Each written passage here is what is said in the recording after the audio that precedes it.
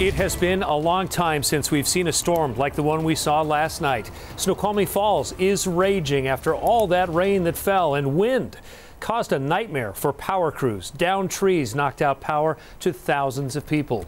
And now a live look outside today. What a difference 24 hours makes. This time yesterday, the rain was really starting to pick up. Today, the sunshine returned and the massive job of cleanup began. Welcome to King 5 News tonight at 5 o'clock. I'm Mark Wright. I'm Joyce Taylor. Thanks for being here. Neighborhoods were noisy this morning with the chainsaws that came out, people starting to clean up the mess from overnight. Sebastian Robertson joining us live now with a look at some of the damage to homes in the area. Sebastian. In Lakewood, the now is those fallen trees and branches. This is what you'll find. Many of the roadways still blocked off, at least a handful still blocked off as crews try to get power up and running. One couple we spoke to says this is the worst storm they've seen in decades. Power tools and hold music. Your call is important to us. Replace the overnight sound of roaring weather. While friends and neighbors work to patch a hole in Richard Green's roof, he's trying to find any resources available to help my stomach kind of dropped when I started walking around and looking at the damage. Richard and Connie Green are two 60 something year olds that have lived in this house in Lakewood for 30 years. Last night's storm may make them move. There's been windstorms, but this is the tree broke in half and came down on the house. Pictures from inside the house show a branch making its way in. From the roof, a look at a skylight that crumbled. We've got ceilings caved in, branches coming through the ceilings and overnight western Washington thrashed about by high winds, gusts as high as 80 miles per hour in some areas.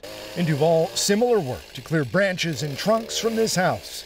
By noon Wednesday, nearly a quarter of a million PSE customers still without power. Back in Lakewood, and it's neighbors, not insurance companies, that are cleaning debris. Uh, I used to be the one that would help people, and now we're getting help. It, it's an amazing feeling. A couple left wondering what they'll do next. It's kind of an old people helping old people. As we head into the evening, Puget Sound Energy, Seattle City Light, and the energy provider here in Lakewood all saying they're still dealing with outages. As we head into the evening, some people may be without power throughout the night.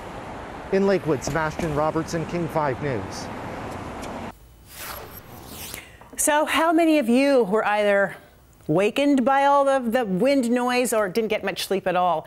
Adam Claibon joining us now. Biggest gusts right around midnight and beyond. It was pretty scary, actually. Yes, Joyce. So we had that area of low pressure moving through the area just around midnight, and once it pushed on by, then you had high pressure that quickly raced on in, and the atmosphere likes to do this thing where it equals itself out. So the pressures that were low at first started to become higher, and then you had that gust of wind that helped to try to bring in some of that higher pressure, and this is what we got.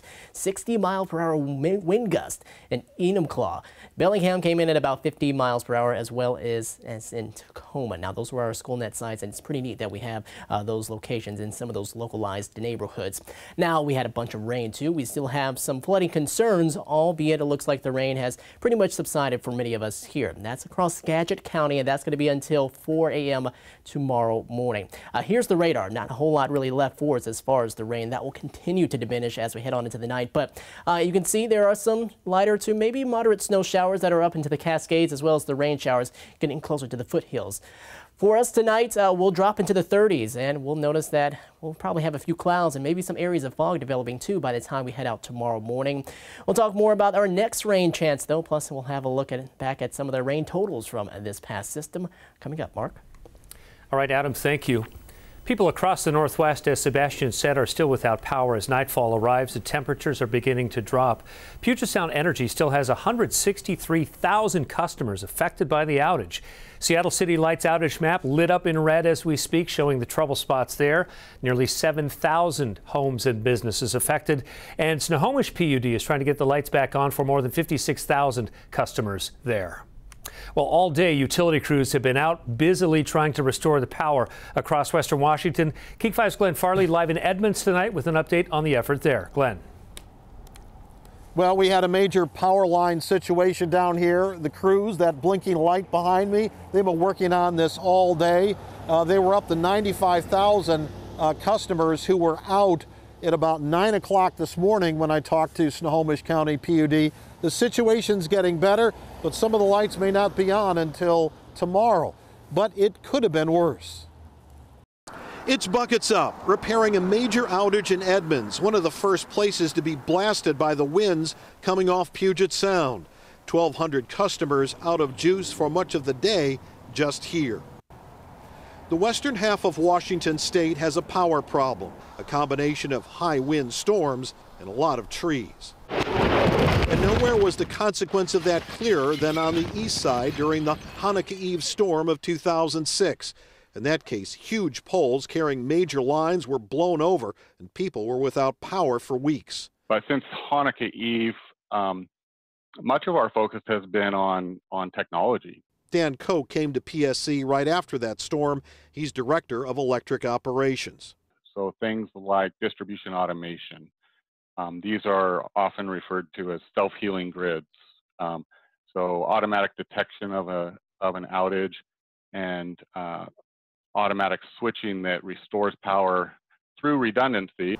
The folks in this business have a word for this resilience. Can the power system keep the lights on? So we have uh, quite a bit of redundancy at the higher voltage levels, the big transmission lines that you see when you drive across a country. Professor Daniel Kirschen is a professor of electrical engineering at the University of Washington who works a lot in the area of power distribution. When we get down to the neighborhood level, we don't have that level of redundancy. And again, as you said, it's a question of money. It's all about money, obviously, and this is going to take time. A lot's been done, there's a lot more to do. One other aspect of this battery technology, giant batteries, which are used to sort of smooth out the power, um, power demand, those could also keep the lights on a neighborhood, and this utility here in Snohomish County has actually been working on that. Live in Edmonds, Glenn Farley, King 5 News. Glenn, thanks for the update there. So when you're away from your TV, you can follow all of the warnings and advisories 24 hours a day from your smartphone. Just download the King 5 app in Google Play or the Apple App Store.